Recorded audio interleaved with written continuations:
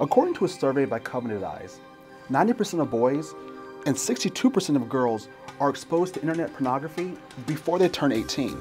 So, what can parents do? I spoke with Sam Black from Covenant Eyes and asked him to give us some insight. So it's not so much if your child's going to be exposed to pornography, but when. And what we need to do is prepare our kids for the day when they will be exposed. We need to just kind of take for granted our kids are going to see pornography, but have we equipped them for that? Have we had an ongoing conversation with them about that? Um, we need to begin having these conversations at very young ages. We're talking three to five.